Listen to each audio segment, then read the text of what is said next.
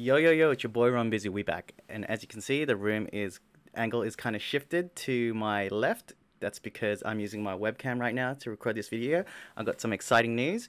We've got the Sony Imaging Edge webcam software finally out. So what that means is, if you've got a um, current Sony camera, whether it be a point and shoot, an APS-C, or the full frame E-mount um, Sony cameras, the A7 series you should be able to use this software and I'm going to quickly show you how to do that. So um, I literally just found out that it was out so let's try and do this together. We're going to scroll down to the bottom and we're going to select the camera that you've got. So I've got the RX100 Mark IV. I'm going to click that, hit download. So remember to select whatever model camera you've got. You've got the E mount here, the A mount, and the digital still camera to choose from. Hit download, perfect, that's downloaded. All right, now we're gonna install this.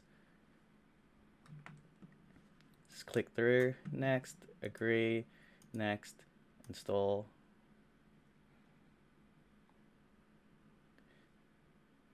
And what I'm going to do is I'm going to plug the micro USB cable into my Sony camera. But I'm not going to turn it on yet. Um, would you like to install would you like to install this device software? Yes, install. Always trust Sony. In Sony we trust. Finish. Let's just go into Zoom and turn on my camera. So camera's on now. I'm assuming I need to put my camera into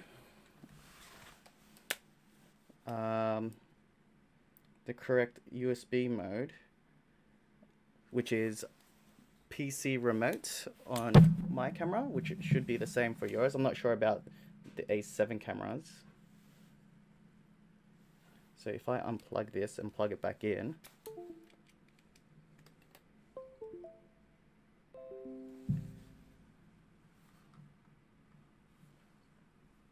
that should come up. And it did. Perfect.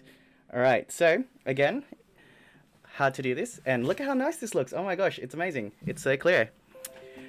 So the first thing you want to do, download the software, which I'll have linked below. You need to select your camera model and then you hit the download button.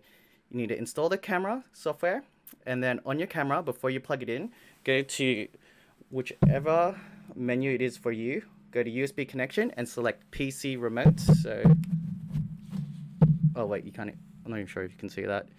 It says PC remote there and that that's literally it. And okay, guys, I actually forgot one step, and that is selecting your actual camera. So what do you select? You can see here on my screen, we've got camera.